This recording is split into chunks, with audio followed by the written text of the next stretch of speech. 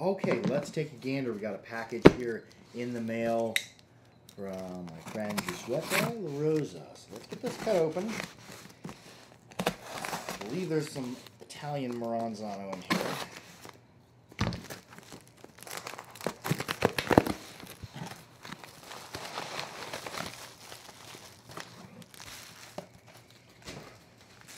What's in here. Oh, there goes the box. There it goes. I can smell olive oil. He normally oils these with olive oil from his own olive tree. There's my little miniature scissors. Like the paper packaging. See a little bit of oil in the paper.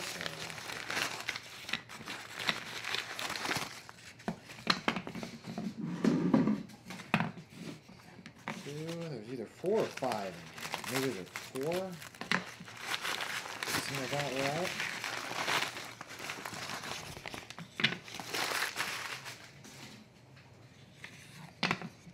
Got some more of it. Oh, those are cool looking. I like the look of the reed on these.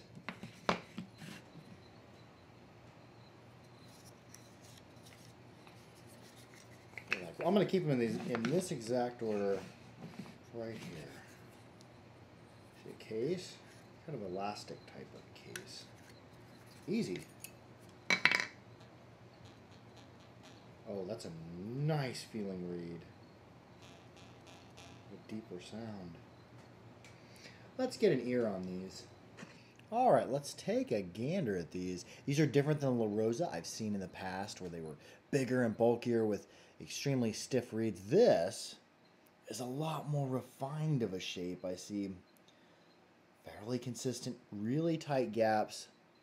Looks like the triggers are filled in with a bit of beeswax and the reed goes right through the center of the frame. But what do they sound like? Let's see if we can get an ear on these. I've already sanitized them off, used the, the Mighty Mist. Ooh, mid-rangey. Very melodic.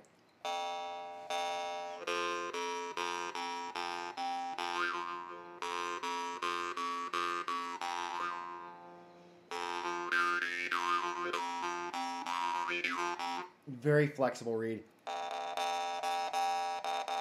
Definitely better play inward.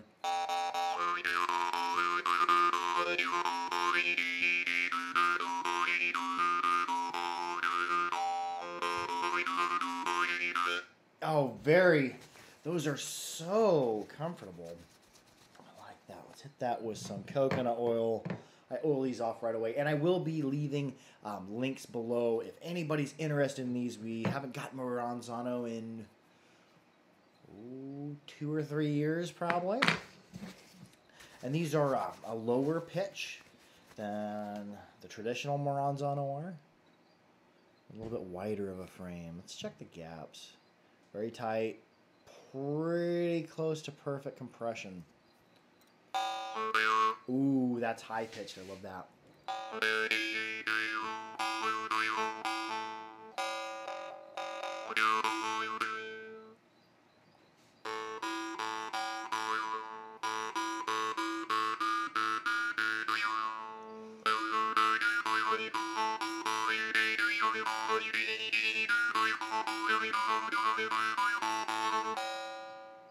Melodic, but there's also a, a faint going on in the background. I'm working.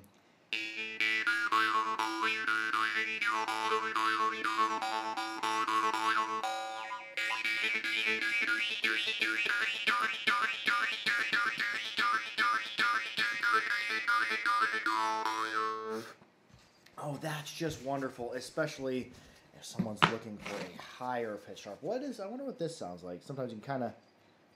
Oh, that's gonna be more mid-rangey. Oh, strong sound. Nice gaps on it.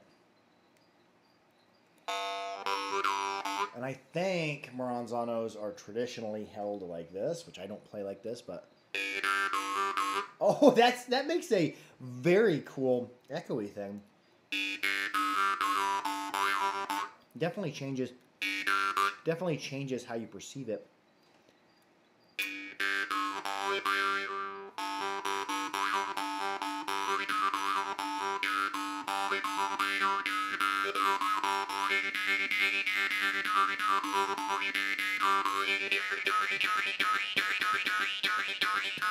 Very loud, very good strong sound, and the the triggers I'm sensing the upper end of medium stiffness, but not super super stiff. Try this last one. It's kind of more the frame's a little bit more squished. Looks almost like a mushroom.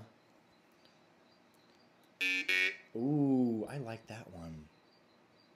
Nice trigger shape. There is some beeswax in there. You could probably uh, press the beeswax or heat the beeswax up, push it out of there if you wanted uh, the tune, the tone of it to go up even more. Okay, this is definitely the most melodic out of them, in my opinion, or that super clear bell ring that I always seek.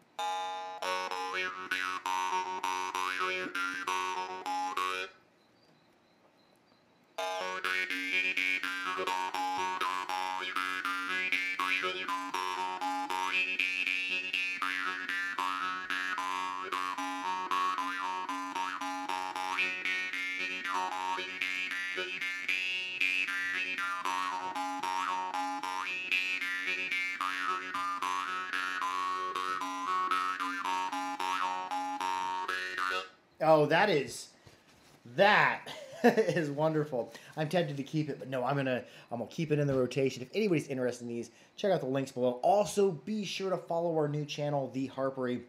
It's the channel Porky Miller is going to be doing lots of jaw harp content on.